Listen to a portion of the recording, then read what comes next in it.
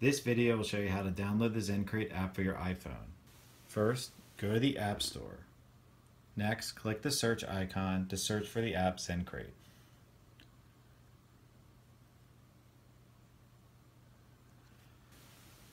You'll find the app ZenCrate by Plug and Play Robotics. Click the Cloud or Install button to install the app. You may be prompted for your password.